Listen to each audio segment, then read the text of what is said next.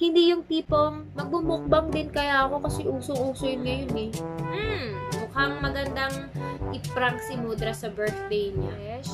Besh, may gagawin ka ba bukas? Collab naman tayo, need ko na ng content. Who can say no challenge lang? Di kita papahirapan, promise. Cross my heart. Hope to die.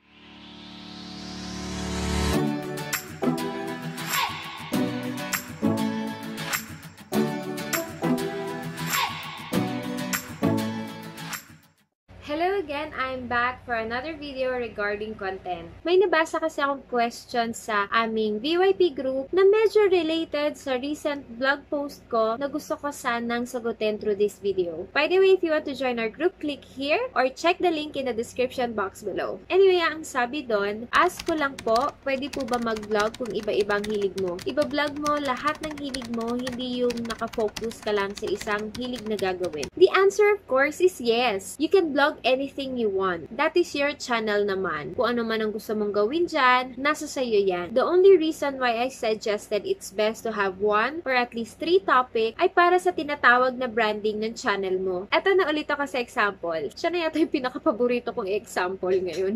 First example is Kong TV. Ang pinaka-focus niya ay Pinoy street comedy. Pag binalikan mo yung mga unang videos niya, consistent yung content niya. Either tungkol sa kalokohan niya sa bahay or mga napapansin niya sa mga ugali at gawain ng mga Pinoy. Then nagkaroon na yan ng mga prank, Pako, pausap ako kay Junjun. Pausap ako kay Junjun.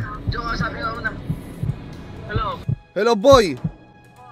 Pinatrace na namin yan sa Toyota. Nasa ano na yan? Nasa silang na. Oo. Siyempre, nasa silang na. Paano nalaman? Pinatrace ni Kuya. konting travel, It was at this moment he knew. He fucked. At ngayon nga na parang daily vlogs na niya at kahit may variations na ang material niya, consistent pa rin siya sa branding niya, which is the funny Pinoy vlogger ng masa. Let me show you a clip which was one of the first videos in his channel. So yun po ano, I am frustrated guys. Ang tigas ng pinon ah. Hindi ko alam kung ano ang gagawin ko. Apat na araw na ako nagsusulat ng kung ano-ano. Wala akong maisip.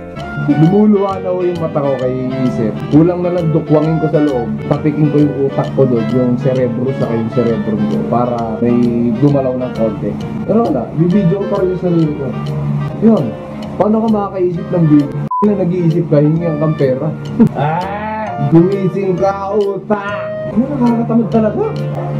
Alam mo may gusto kang gawin, may gusto kang sabihin, may gusto kang buuin, pero hindi mo magawa. Hindi mo alam kung bakit.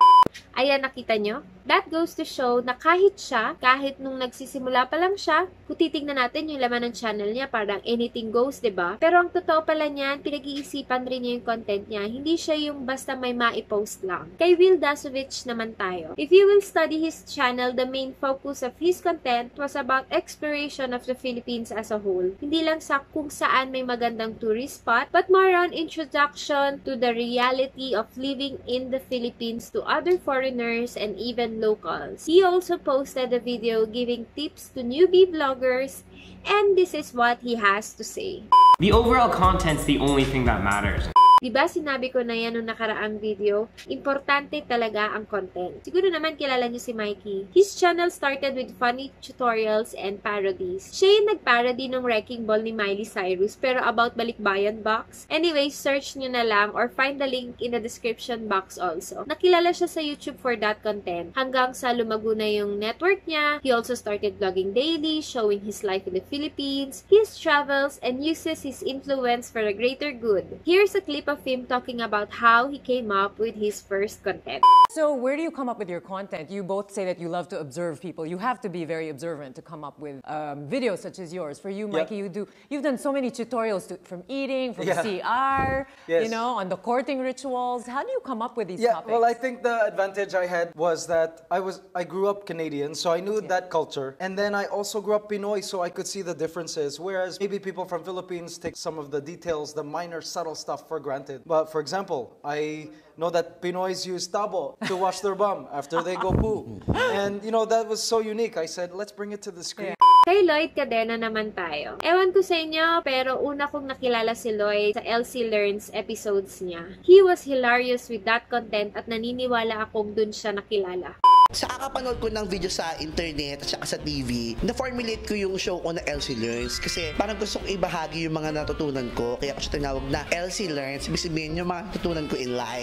That was a clip from his video talking about his YouTube story. Lagay ko na lang din ulit yung links sa baba kung sakaling gusto mong panoorin. Let me show you another clip.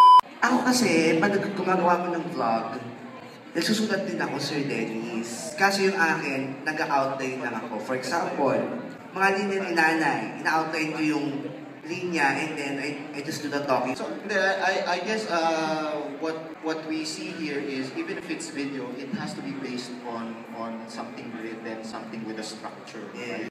Yan namang clip na yan was from one of our vlogging events kung saan invited siya as speaker. Kahit naman alam natin na spontaneous si Lloyd, sa kanya na rin naman nagmula na he thinks about his content. He writes it down as his guide while he shoot his videos. You know, I could keep going with other vloggers, pero the main point here is, lahat ng mga kilalang vloggers ngayon ay nagsimula sa isang consistent content. Hindi yung tipong, magbumukbang din kaya ako kasi uso-uso yun ngayon eh.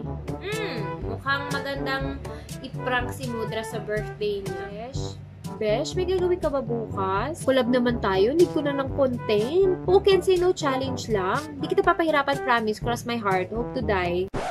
Ganyan yung mga magiging unang upload mo sa channel mo, ano yung masasabi mong focus ng content mo? Real talk tayo ha. Tama naman yung sinasabi ng iba. As long as you enjoy what you're doing, go rebels! But for those who want to monetize their channels, they need a consistent content para makilala. Kasi di ba real talk lang ulit, hanggat hindi ka pa relevant sa community, sa tingin mo ba, may magiging pake yung ibang tao sa araw-araw na ginagawa mo?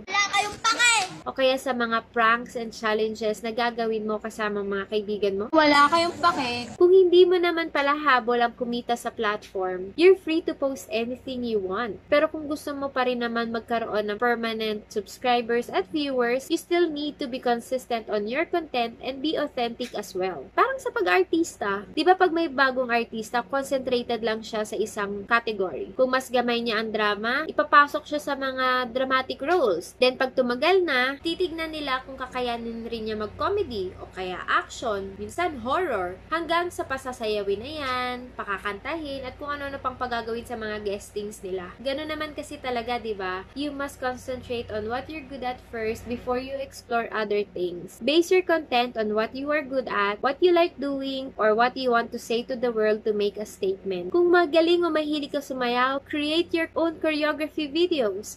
Kung sa music, create your covers. Kung sa painting or anything artistic, record yourself while you create your masterpiece. Kung masarap o mahilig ka magluto, bakit di ka gumawa ng cooking show sa channel mo? You have to think of a content you are most passionate about. Kasi kung hindi, kung nakaasa ka lang sa ginagawa rin ng iba, baka mapagod o tamarin ka in the future. Again, uulitin ko lang po, these suggestions are for those who aim to earn from the platform. Kasi kung di mo naman habol ang kumita at gusto mo lang talaga ay magbahagi ng mga trip mo sa buhay, then hindi mo kailangan mamroblema sa number of subscribers at watch time mo. Therefore, there's also no point of asking others kung anong magandang content. Sana sa video kong to, open-minded po tayo. Wala po sanang ma-offend or take this as a personal attack to whatever you're doing. This is my personal suggestion lang naman. I just want to share my knowledge on this topic to challenge and encourage others to be more creative and to be content creators instead of just vloggers. Kasi ang totoo niyan, hindi pa naman guaranteed nakikita ka hanggat di ka pa relevant sa community. Which means dapat may continuous organic watch time ang channel mo and you have grown your own community within the platform. But if you have a good content, decent subscriber and view counts, brands or companies can approach you for business partnerships kung saan mas posible ka ding kumita. Anyway, yun lang naman. Sana medyo naklaro ko na yung part na yan. But if you have other question regarding this topic, comment it below para makapag-discussion pa tayo lalo. Thank you for watching and see you in my next video. Kaya click mo na yung subscribe and bell button para wala ka nang mami sa mga susunod kong upload. Bye!